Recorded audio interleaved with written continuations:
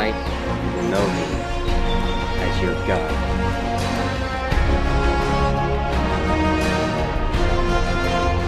He's not dead, John. He's trying to finish what he started 20 years ago.